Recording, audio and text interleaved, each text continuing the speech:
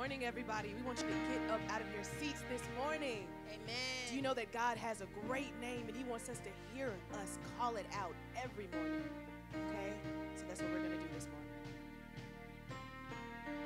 morning. We love to call your name. It's something we cannot explain that happens when we proclaim your great name. Your great name. We love to call your name. It's something we cannot explain that happens when we proclaim your great name, your great name, King Jesus. No other name, King Jesus. None stronger, we change, yes, we can call on your name. King Jesus, no other name, King Jesus. None stronger, we can call on you. Things change, yes, we can call on your name. We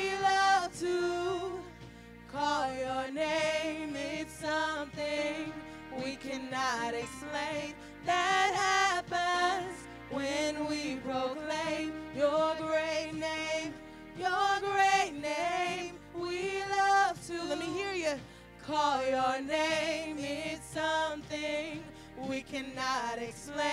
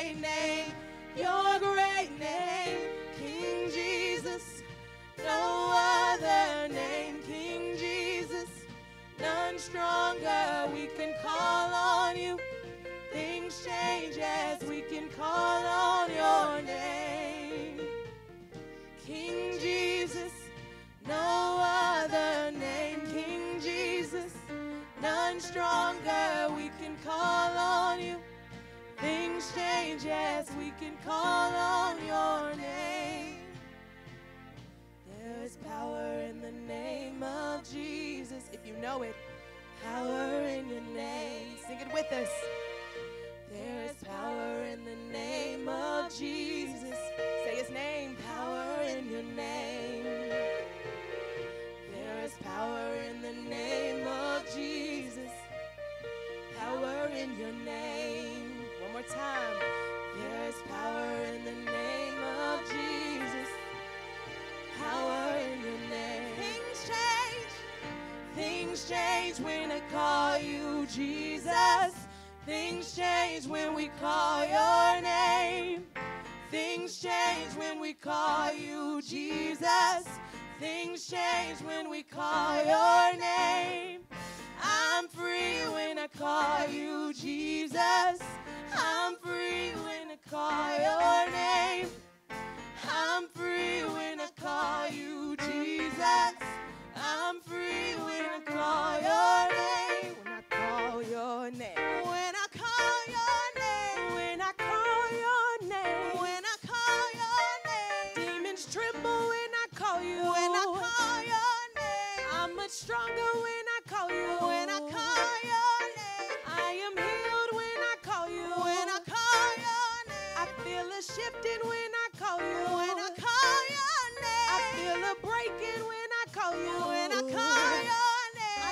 a shifting when I call you. When I call your name. I feel a breaking when I call you. When I call your name. I feel a breaking when I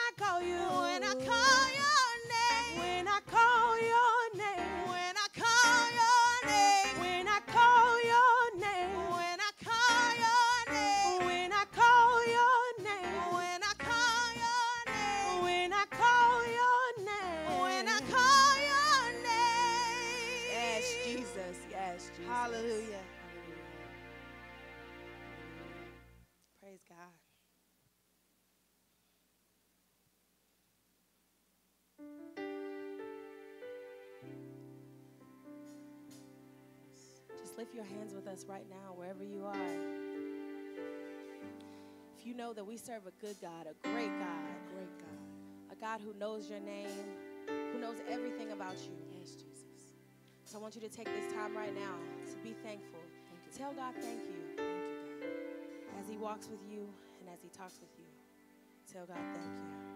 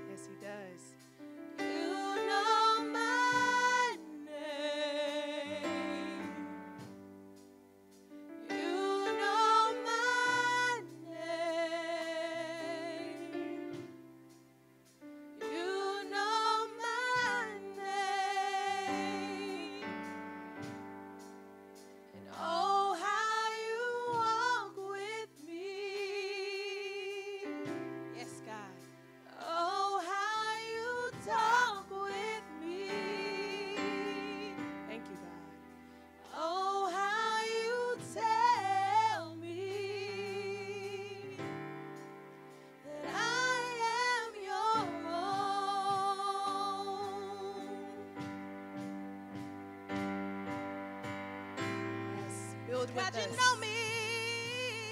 Moses. Thank you, God. So I trust you with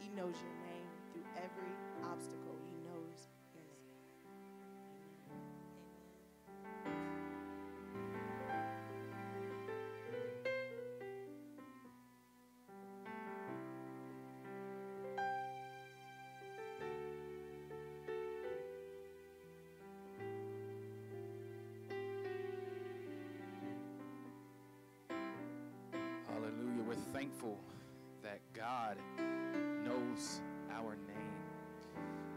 Thankful that God knows me personally. He knows you personally, and He knows everything that you're dealing with mentally, the things you won't tell your family and your friends, uh, the things that are deep inside your heart that are weighing heavy on your spirit. God says, I know your name, and I'm holding your hand, and I'm walking with you, and I'm talking you through these things. So I am just appreciative of what the song says, and, and I'm thankful on this morning of, of what the, the young ladies uh, sung about. God the Father knows who you are, and in the midst of your struggle, and in the midst of everything that you're dealing with, He says, I want to remind you that I know who you are, I know where you are, I know where you're going, and I'm going to continue to provide. My plan doesn't stop here. I know we're in the midst of a pandemic. We're in the midst of, uh, of a nation that is disregarding the African American community and in, in, in the midst of a nation where police brutality is, is often ignored, especially the police brutality against African Americans, people who look like me. But God is saying, I know in this situation that you're all going through, but I know who you are, I know where you are, and it does not end here. I'm holding your hand, and I'm going to get you through until the end. Just tell somebody wherever you are, in your homes, in your apartments, that God is not finished. The war is not over, but God is not done. There's still more to do. And the fact that we are alive and breathing on this morning means that God has a plan for you. And there is nothing that the police or the system can do to stop what God has for you and your family in your lives. Amen. So I'm just thankful for that song. Um, I will not be in front of you long. I know today is Father's Day, and many of you have plans. So I don't want to get in the way of your plans, uh, but I do just want to give a brief shout out to all the fathers who are watching. Uh, the world needs you, your families need you. You are the leaders of our family, uh, you hold the wisdom, you hold the identity of your families, and, and you hold the ability to set forth the platform that your sons and daughters and generations after you will be able to stand on to be able to reach success. So, fathers, we thank you. And I just uh, want to give a special shout out to my father, Pastor Maness, who's the leader of this house. Uh, a lot of people may say I look more like my mother, but he can't deny me either. Uh, we love the same things. We talk about the same things. We care about the same things. We get up here behind this podium and move the same way. We have the same mannerisms, so he can't deny me. But I'm thankful to my father just for being a good example and setting the tone of, of what it looks like to be a man. Uh, and what it looks like to be an African American man, and, and what it means to provide for your family, and to work, and to uh, have ambition, and to go after what you want. So I'm thankful uh, that God has given me such a wonderful father. And, and I just want to talk today briefly about the importance of fathers. I may have touched on it already, but fathers carry our identity. You know, in the old days, a lot of times, if people didn't know who the son or who the child was, the first thing they did was try to remember who the father is. As an example, if you your father was a mechanic, then most likely people would understand that when you grow up, you would be a mechanic. If your father was a preacher, then most likely back in the day people would understand that the son is going to be a preacher. So the father carries this identity.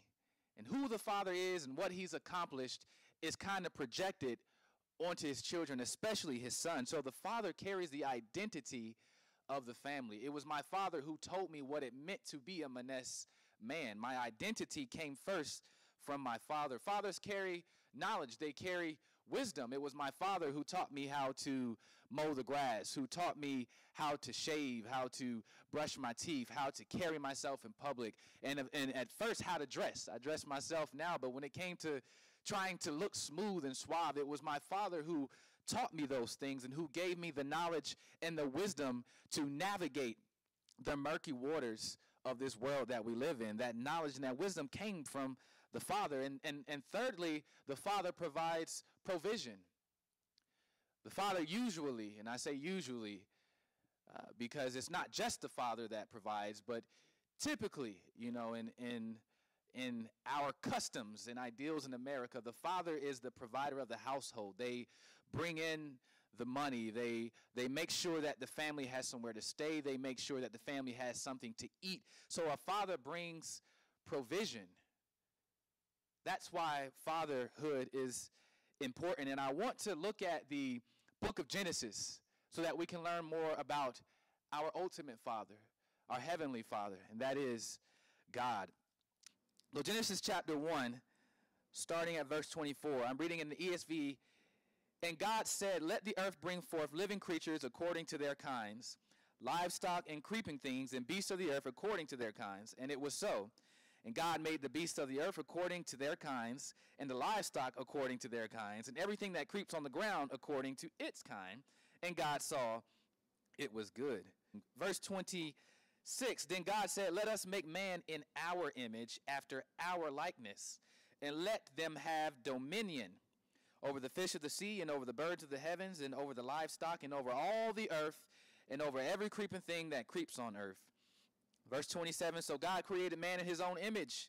In the image of God, he created him. Male and female, he created them. Verse 28 And God blessed them, and God said to them, Be fruitful and multiply, and fill the earth, and subdue it, and have dominion over the fish of the sea, and over the birds of the heavens, and over every living thing that moves on the earth. Verse 29 And God said, Behold, I have given you every plant yielding seed that is on the face of all the earth, and every tree with its seed in its fruit. You shall have them for food. And to every beast of the earth, and to every bird of the heavens, and to everything that creeps on the earth, everything that has the breath of life, I have given every green plant for food. And it was so. Verse 31 And God saw everything that he had made, and behold, it was very good. And there was evening, and there was morning, the sixth day. Join me in a word of prayer. God, I'm thankful for the reading of your word. I'm thankful for what you're getting ready to say through me on this day. Increase, God, as I decrease. As I decrease, don't let me say anything, God, if it does not give you the glory.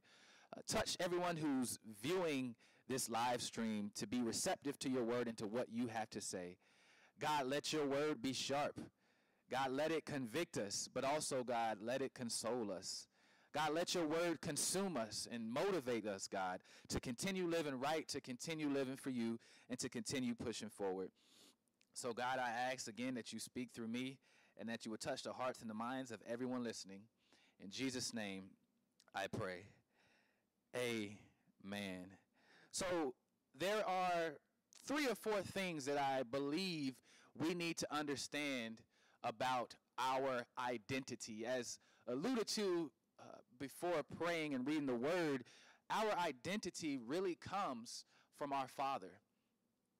And I think in today's time, uh, we can clearly see that sometimes the father not being in the household uh, creates uh, a, deficit for that family. Uh, sometimes fatherless households struggle more uh, with discipline. Fatherless households sometimes struggle more uh, with finances, and I think the absence of father sometimes messes with the identity of the family, and that in turn keeps them from starting off on the right foot. Now, I'm not saying that every fatherless family uh, starts off on the wrong foot and they just can't get it together because we've seen it time and time again fatherless families and generations of kids uh, who, who did not have fathers but are doing great and excellent things in the world. But I'd like to make a, a, a comment and, and more of an opinion is just that when you have the father there and you have the identity being passed down to you from the father, then your success and your outlook on life is much different in the beginning. Number one, Your identity as a child of God is dominion and power. You have the power that it takes to change your community. You have the power that it takes to change your situation. You have the power that it takes to uh, accomplish what you think is impossible. It's already in you, and it began in the creation of the world in Genesis. You have dominion and you have power. When you look at verse 26 of Genesis chapter 1, it says that God made, a, made us after his own likeness and let them have dominion over the sea, over the heavens, the birds of the heavens, and over the livestock, and over all of the earth. So if you have power, then why is it that some of us refrain from going after the things that we want? Why is it that some of us allow uh, negative things to continue to happen in our lives? Why is it that some of us don't stand up for ourselves? I think it's because we don't recognize that God already has given us dominion and has given us power over everything in the world. When you have an understanding of the power that you have living inside of you, then you move with a different kind of confidence. Then you move with a different kind of swagger because you recognize there's nothing the devil can throw at your way. There is nothing that someone can say to you that's going to stop you from accomplishing the dreams that you have, the goals that you have set for yourself because you understand the power that you have in you. And sometimes I'm, I'm worried that it takes events tragic events to make us realize how powerful we are. When I think about all the great things that are now happening in society because of the death of George Floyd, it's bittersweet. It's great because, wow, people of all colors and all over the world are marching together.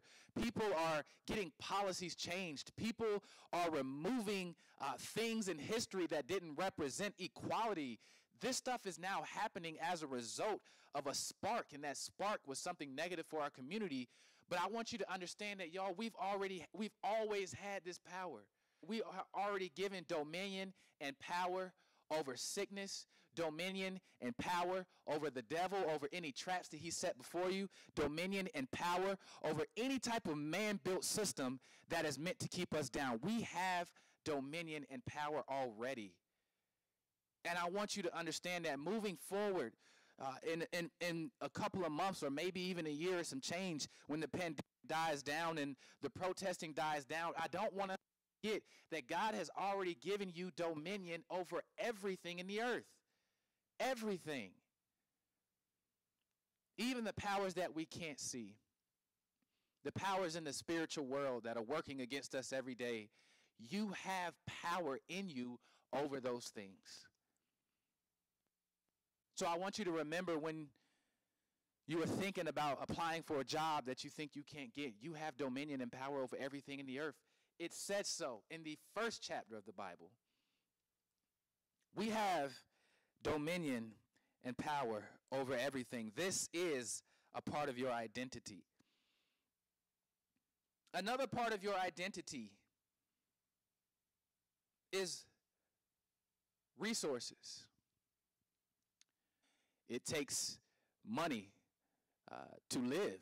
You have to have money to, to pay for your mortgage or to pay for rent. You have to have money to pay for food. You have to have money to pay for transportation. Your father, in Genesis chapter 1, when he created you, in your identity, he put the resources that you will need.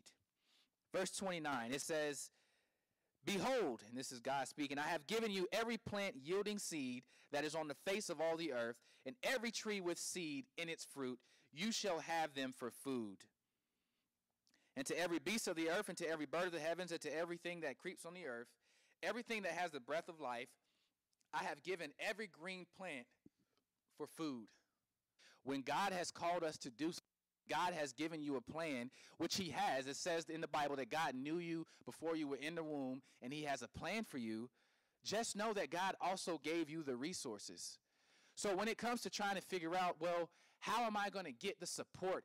In order to run for this position? Or how am I going to get the support in order to start this business? I don't have money. Or how am I going to get the support in order to go to school because I don't have scholarship funds and, and my parents aren't, aren't necessarily equipped with the resources? Understand that you must go after what you want. You must go after what God has set you to go after because in the beginning, in Genesis chapter 1, God is saying, I have given you the resources. We should not worry in Matthew chapter 6. It talks all the time, and that's one of my favorite chapters of the Bible about how we should not worry what we're going to eat or what we're going to drink. Focus on the journey, focus on the relationship, focus on who you are as a child of God and He being your Father. Focus on the plan that He has set before you. Focus on continuing to work on your skill set, continuing to build yourself. The resources will be there. God said so at the beginning of the Bible in your identity, there are resources. And as a result of the resources, we have life. And I want to take a moment and just, uh, as an aside, say that the resources aren't just for you. Our resources as children of God are, are gifts.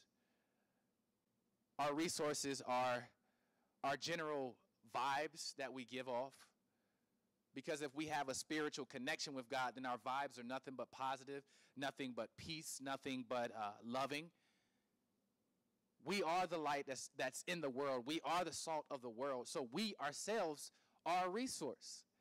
And I always say this, but sometimes the only thing that people are going to see or understand about God initially is your actions, how you carry yourself, how you handle yourself when people talk trash about you, when people do you wrong in public. You yourself are a resource. So make sure that you are cognizant when you go out in public of how you treat people, how you react in tough situations, because you're a resource. And also be cognizant of the resources that you have. If you have money, be generous, give to those in need. If you have knowledge, if you have uh, education, be generous, tutor those who need it. Be a resource to your community. And I think, uh, you know, in, the, in this past year, we're realizing it more than ever, especially as an African American community, that we are the resource. Not everybody is struggling. Not everybody is downtrodden. Not everybody is, is in this community is, is going through something that's keeping them from progressing in life. But there are those of us who have resources and we need to use those resources to pull up those, especially those who look like us, but also those in our community who may not look like us. But you are a resource, and God gave you the resources, your gifts, the money, the connections. He gave you that stuff so that you could also be a resource to your community and to others around you. But that is your identity in Christ, that you are a resource and that you will always have the resources that you need to be successful in your endeavors. The other thing that I want you to understand about your identity is that we are creative.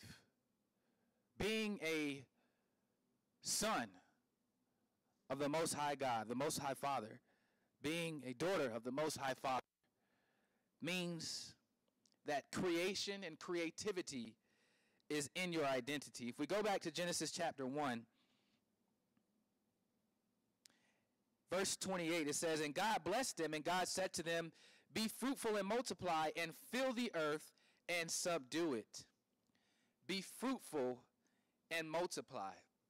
Be fruitful and multiply. God has planted plenty of seeds in your mind ideas, inventions, new processes. God has planted these seeds, and He has given you and us the liberty to act on these seeds. He's given us the liberty to transform the seed into a full blown fruit that someone can consume. So understand that creativity is in your identity. If your Father created the heavens and the earth, and it says that He created us in His image, and we're his children, and we believe that our identity comes from our Father, then you must understand that you are creative. I know a lot of times churches, uh, you know, the generation before us that are that are running churches now are are feeling like, you know, we've run out of ideas and we and we need the millennials to come in and and bring us these fresh ideas. Uh, I always like to argue with that point. It's not just the millennials that have the fresh ideas. If you are a son or a daughter of God, then you have the ability to create. It is in you. And I want to challenge everyone in here to act, or everyone viewing, to act on those seeds that God is planting. I know personally, a lot of times I'll have a great idea and I procrastinate and procrastinate and procrastinate because I don't understand that I have the power. I don't understand that I already have the resources. So that halts me from being creative. And then I flip on the TV and I see, wow, I thought about that idea three years ago. Now someone has a whole company and they're making money off of it because they realized that they had dominion. They realized they had the resources and they allowed that to spur them into, into being creative. So that business that you're running and you feel like, you know, we're losing, we're losing customers and you feel like we're not relevant anymore. You have it in you. You have the creativity in you to turn things around and to make something that will change the world, to grow your business.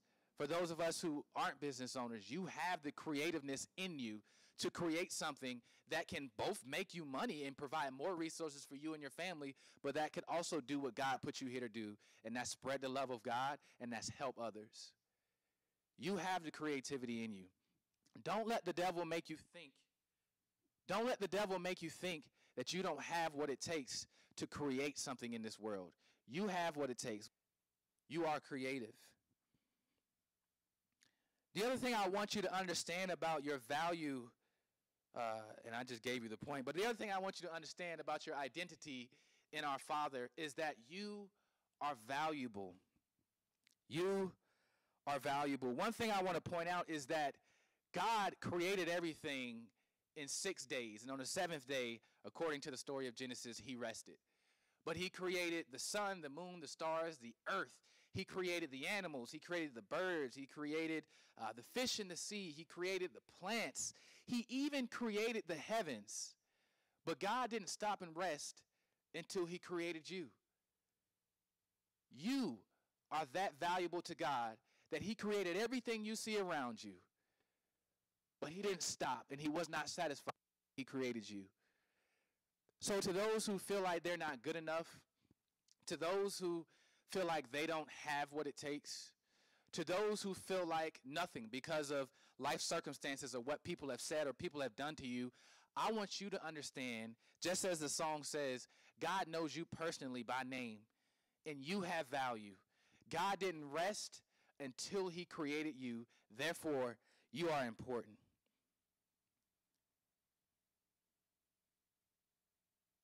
The other thing I want to point out is we are the only thing that God created in his image. When I first started reading Genesis chapter 1 verse 24, uh, it says God created creatures according to their kinds. Uh, he created the beasts of the earth according to their kinds. Uh, he created the livestock according to their kinds. Everything that creeps on the ground according to its ground, according to its kind and God saw that it was good. But in verse 26, God broke from this pattern of creating everything in its own kind. He says, Let us make man in our image, after our likeness, and let them have dominion. And if you go to verse 27, if you skip down, it says, So God created man in his own image. In the image of God, he created him. Male and female, he created them. You are of value we have to understand that he saw something different for humankind, something different from what he saw when he created heaven, something different from what he saw when he created the world and everything in it. He created you in his own image. And just like in the identity of God and the character of God, who is powerful, uh, who has wisdom, who is intelligent, um, a God who is peaceful, a God who is loving, you have those same things because you were created in his image and God thought everything of you to create you just like him. So you got to remember that we are his creation. What I also want to talk about when it comes to our identity and us being of value to God is that although we may have consistently turned our backs on God, although we may have consistently gotten rid of His identity for us and started walking in our own identity, although we started sinning against God, He always finds a way to reconcile back to us. If you think about the timeline of Genesis in the first, the first book of the Bible, uh, you think about how God created Adam and Eve in His own image and they sinned because they adopted their own identity. But then God still allowed them to have children. And we get to eventually Noah uh, his family, where God spared them, but he created a flood to wipe out everybody else on the earth because they had adopted their own identity and no longer were walking in the identity of Christ. But God reconciled. He, he, he chose a family, he chose Noah to start over that relationship with humankind because he loves you just that much. You're, we're that much of value to God that although there were some consequences, although uh, He had to discipline the earth and, and really get rid of uh, the sin in the world by wiping out people, He still reconciled and said, You know what? But I still love humankind. They're still my children. So I want to allow humans to, to reproduce and recreate through the family of Noah. And if you keep going down the timeline, uh, there was some more disciplinary actions that God took against humankind because we adopted our own identity and didn't keep his identity. But God still said, you know what? I'm going to choose a man named Abraham, and I'm going to show the world that through Abraham and through the way that I bless him and his family, that we all, through the identity of Christ, can function as one and can live and, and can prosper and can grow. So there are all these stories in the Bible, Adam and Eve, Noah, the, when it gets to Noah, when it gets to Abraham, of humankind turning away from God, but him always coming back and standing with his arms open wide as our Father to let us know that he loves us, to let us know that although we sin, he forgives us. So if there's anything that, that you've done or, or are a part of or are doing now that you believe separates you from God, I just want you to know that you're of that much value, that someone with such magnitude and such power and such esteem is still waiting for you and is still there to accept you with open arms. Whether you sinned last night or you sinned five seconds ago, God is your Father. And because He's your Father, you have value. And God wants you. God wants to protect you. He wants to provide for you. He has some great things that He wants you to accomplish, and He wants to get you to those things in your life. But don't allow this lie that because I've sinned, I'm no longer of value. No, you are of value. And God has shown that consistently throughout the book of Genesis and throughout the Bible.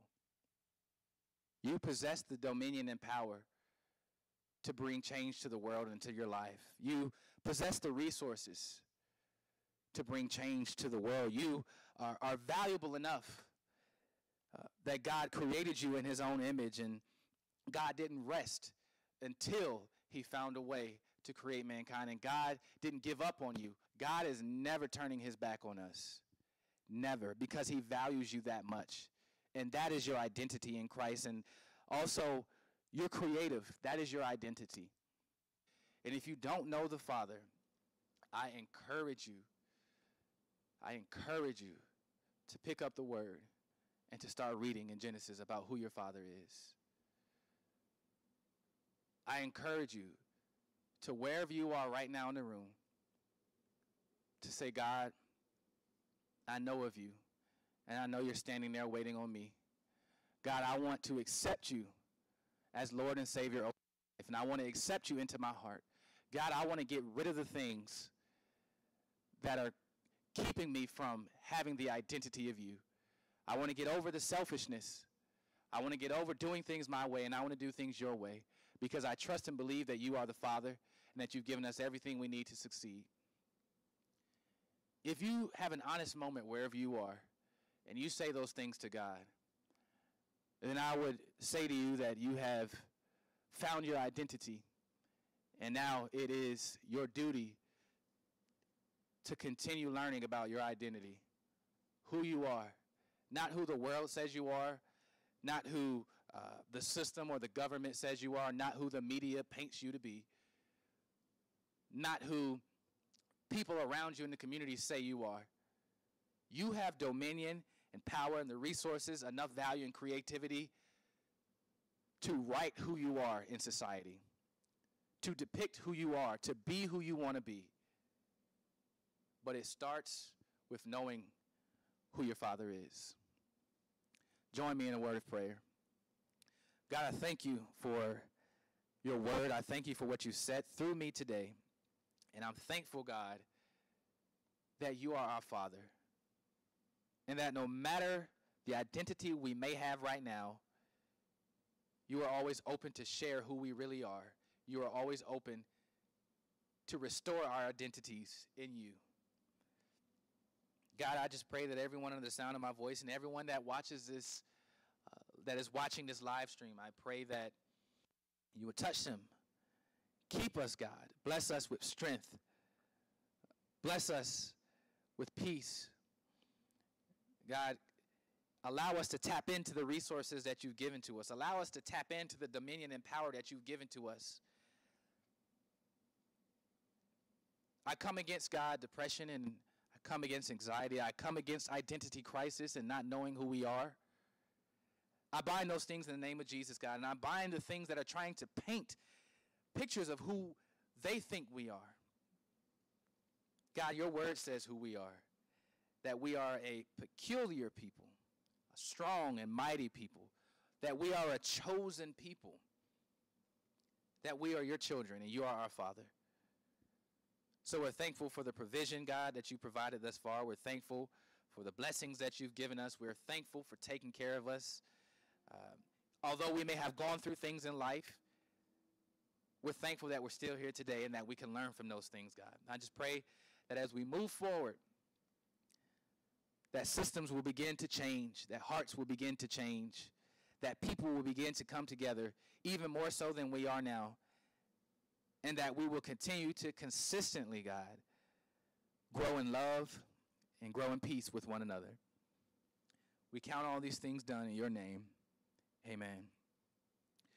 Well, thank you for joining us. Um, I do want to quickly give you the information if you want to uh, sow into this ministry or donate.